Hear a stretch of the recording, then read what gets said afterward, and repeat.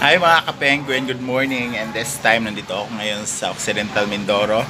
Ayan, dahil work, work, work na naman. So, before kami uwi ng Maynila, ayan, kakain mo ko na kami ng aming agahan. So, ito po yung mga ulam namin. Meron kaming pritong tulingan and sinabawang isda. Ano isda to?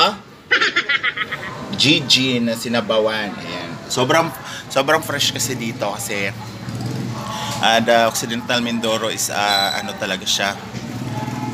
Uh, maraming isda, maraming crabs, maraming pusit. So, kung pupunta ka dito, yung mga isda nila na nasa palengke, walang mga yellow dyes. Oo. Tapos nilagyan lang namin ng kamatis, tapos talbos ng ano, talbos ng kamote, tapos sili konti. Tapos ito, tulingan naman, grabe, ang mura ng kilo dito, sobra. So kasama ko ang nagluto dito. Ang napakabait kong friend. Walang iwanan kumbaga. Si Victor. Ayan siya yung nagde-drive sa amin dito sa amin daw pag mapupunta kami sorry guys ha. Uh, kaya kami nakarating dahil kahit quarantine nakakarating kami dito sa Mindoro dahil supplier po kami ng mga gamot dito sa mga munisipyo.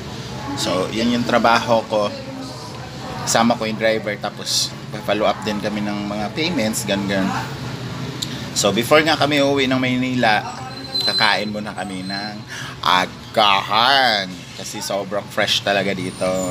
Sa labas kami ng bahay kumakain. Kasi may naupahan na kasi kami dito na bahay. So kakain muna kami ha? Napaka sarap ng agahan namin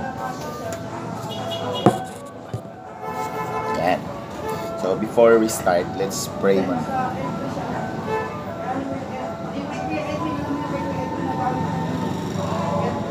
Di baka sabihin nyo, pinagaya ko si Ate Charing ha, hindi. Uh, need naman talaga natin mag-pray before we eat kasi thank you kasi nga may mga grasya pa tayo natatanggap even na meron tayong mga COVID-COVID na yan blessed pa rin kasi nga may pagkain pang naihahain sa pagkain. So let's start habang busy pa siya.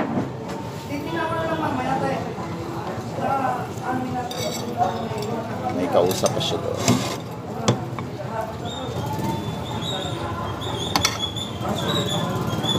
Hindi na ako nakapag-vlog kagabi kasi pagod na pagod. Sa biyahe. Kaya diretso orlog na si Bakuya.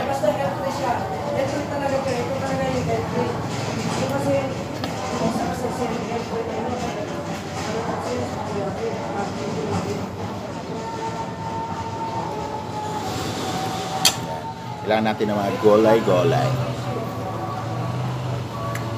Mm. Let's eat.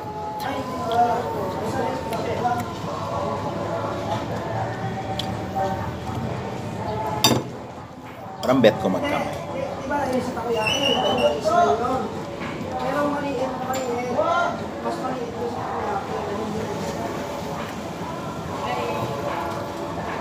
Pritong isda.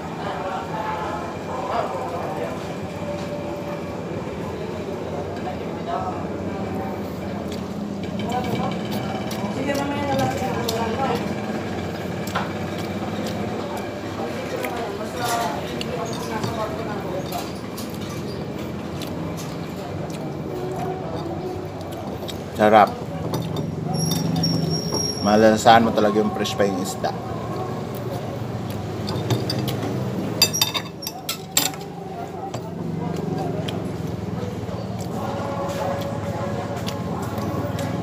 Ayan nagluluto sa akin sa Victor's.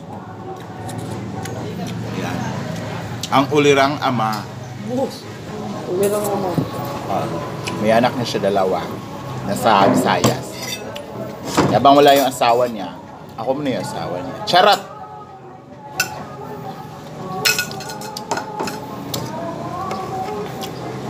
Sarap. Kahit tira na to kagabi, sarap pa rin.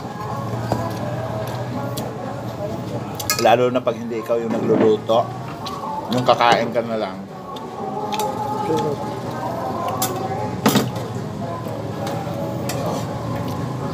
Mm.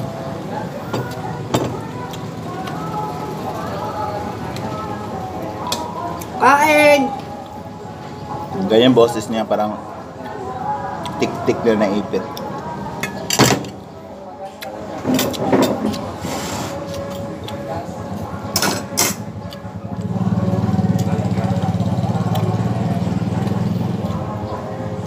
Dumidilim siya.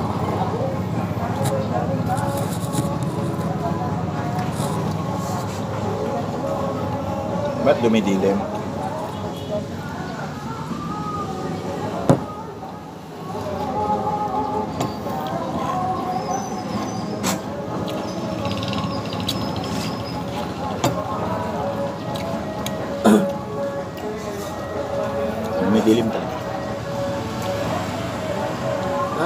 araw, Di ah. tatakpan mo. Ganun talaga siya.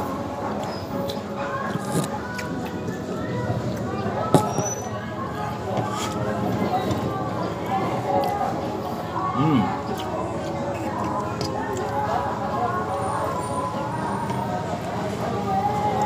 Ito na yung pambaon natin na kanin.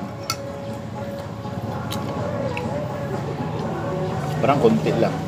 Wala bigas eh. Wala na.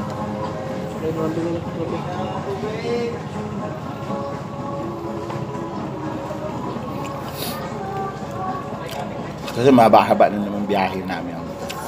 I mean, alam kong ano oras kami darating na Maynila. Kasi depende sa barko yun. Ayun. Wala kasi mabilang pagkain. Sa daan, di ba? Mas masarap pa rin yung galing luto talaga. Kasi alam mo nga, malinis, masarap, tsaka mas mura pag naluluto.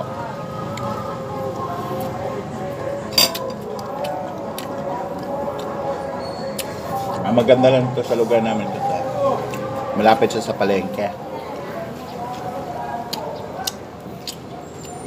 Ilang steps lang, palengke na.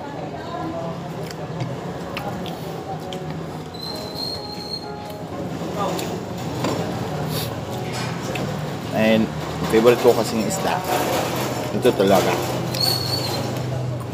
Sa probinsya, iniihaw namin to. Instead of bangos, ito iniihaw namin.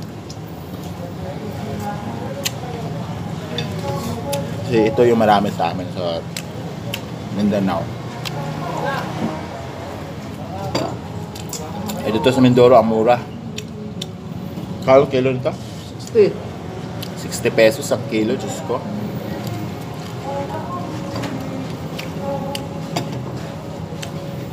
Samantalang sa Manila, ang mahal-mahal, di ba?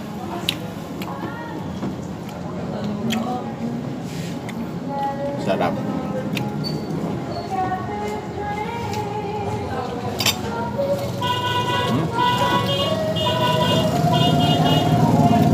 Ito yung anak ko. Kung tulingan. Galunggong.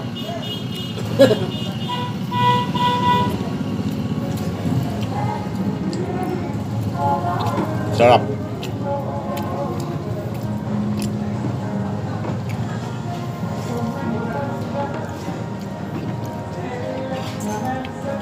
Late naman kasi yung galunggong, no? Yan yung pangkilaw.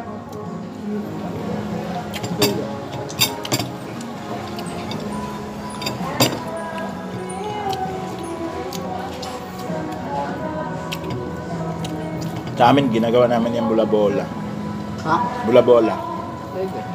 Tinatanggal ng ano, buto. Tapos tatadta rin ng pino. Sarap.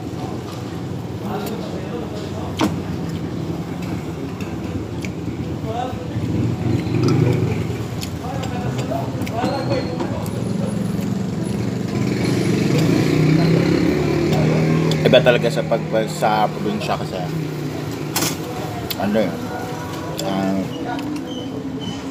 mura, fresh.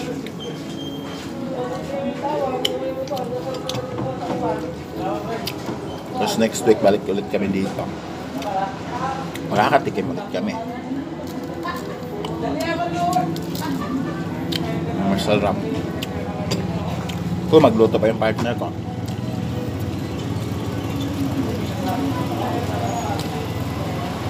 Yung partner ko kasi minsan may topak eh.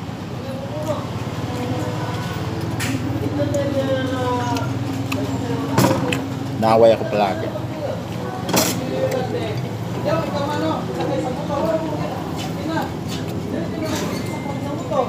Sarap.